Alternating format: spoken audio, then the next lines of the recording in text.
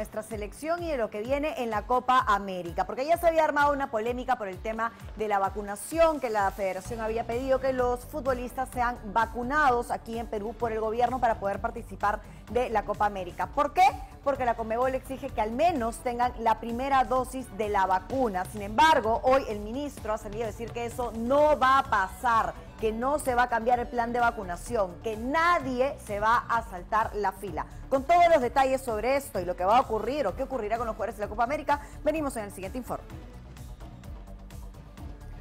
Ah, bueno, no, no es una, no es una nota, es un, vamos a, vamos a seguir comentando. Lo que está ocurriendo es que, bueno, como les decía, la Comebol ha pedido que mínimo las delegaciones tengan una dosis de vacuna. Acá iban a, iban a adquirir un lote que finalmente no fue aceptado. Entonces la federación decidió pedirle al gobierno que ellos intercedan y que se vacune a los miembros de la selección para que puedan viajar y participar de este torneo internacional.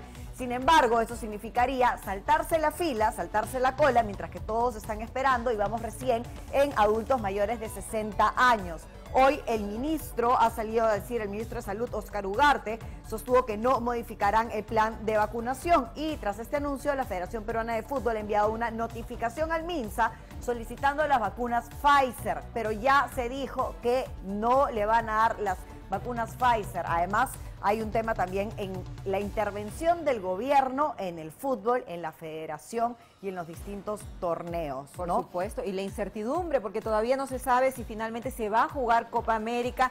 Digamos que los planes están hechos, pero todavía también no, no se ha confirmado. La selección, los chicos no estarán vacunados, expondrán su salud también porque finalmente ellos están representando al país también en este torneo. Bueno, yo soy de la idea que si la Conmebol solicita, de repente se podría llegar, se podría llegar a un acuerdo con la Conmebol y que la Conmebol adquiera cierta cantidad de vacunas para las federaciones que forman parte de ella, porque me imagino que hay otros países que tampoco querrán saltarse la fila o no tendrán las vacunas suficientes. Recordemos que acá todavía no terminan de llegar los lotes de vacuna, pero lo cierto es, como tú decías, Celi, que mientras que hablamos de vacunas y mientras que hablamos de participación de Copa América y mientras que hablamos de que ya tenemos lista de seleccionados, ya salió la lista con todos los seleccionados, incluso con los reemplazantes eh, que entrarían a esta nueva lista, seguimos sin tener sede de Copa América o seguimos sin tenerlo claro, porque primero iba a ser Colombia-Argentina, ya no es Colombia, después iba a ser solo Argentina, luego Argentina pidió que se aplace por el tema del COVID, luego entró Chile a decir que podía compartir